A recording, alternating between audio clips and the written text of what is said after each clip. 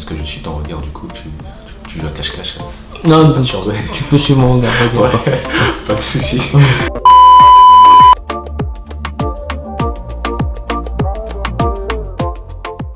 Je suis Kateb Zenoudini, j'ai 30 ans, je suis originaire du quartier euh, Msakwani à Passamaiti.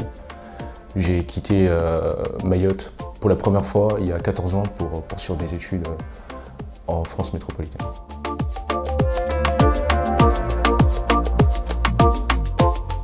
Donc, J'ai fait ma scolarité euh, jusqu'en seconde au lycée Bamana à Mayotte.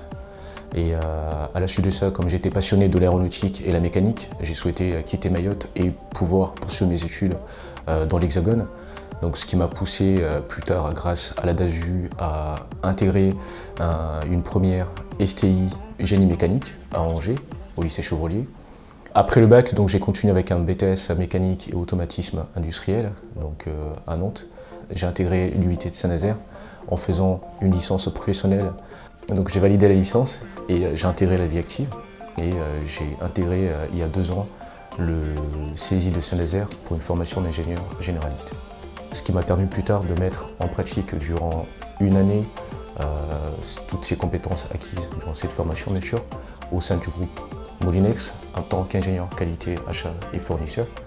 Donc j'ai validé mon diplôme avec le groupe Molinex, j'ai décidé de la vie active. Euh, j'ai d'abord commencé euh, mes missions chez le groupe Jeannot Benito à Cholet euh, pour les accompagner dans tout ce qui est l'industrialisation et l'implantation d'un nouveau site qui a pour objectif de développer et concevoir euh, les voiliers de luxe.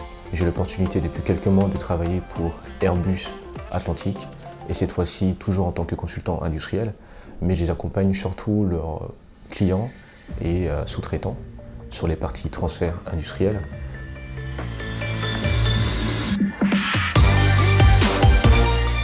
Et d'ici 5 ans, je me vois plutôt occuper un poste euh, de directeur industriel ou de directeur exploitation. Et euh, on va dire plutôt sur le long terme, j'envisage aussi d'entreprendre à Mayotte, à savoir qu'actuellement je suis en train de- d'expérimenter un projet qui devrait voir le jour d'ici 6 à 7 mois avec un couple d'amis à Mayotte.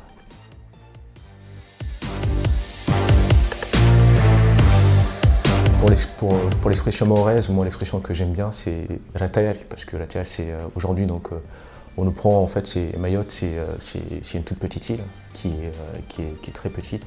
On le voit aussi qu'il y, a- qu'il y a un vrai potentiel, ça, ça se voit aussi au niveau de sa balance commerciale. Donc Ratayal parce qu'aujourd'hui il y a de plus en plus en fait de Mahorais qui, qui ont les compétences, qui ont les compétences à la fois sur tous les domaines, donc tout ce qui est, tout ce qui est dans le domaine du droit, l'ingénierie, etc. Donc la TALI parce que aussi on, on est prêt